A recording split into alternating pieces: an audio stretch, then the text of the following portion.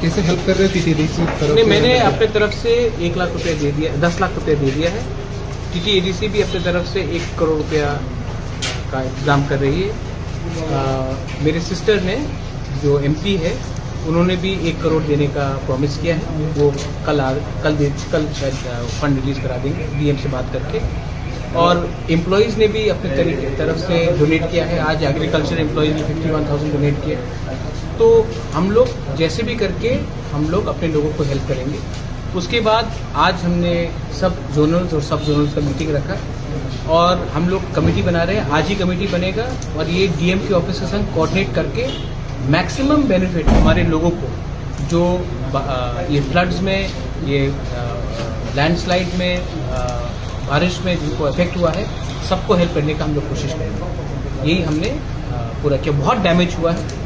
TT ADC ने खुद assessment किया है कि अभी प्रिलिमिनरी असेसमेंट में हमारे ही टीटी एडीसी का प्रॉपर्टी का कम से कम 190 करोड़ साथ आसपास का डैमेज हुआ है।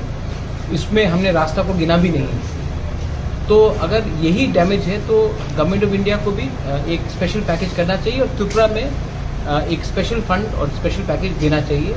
Not only for the T T area but पूरे त्रिपुरा के देना चाहिए.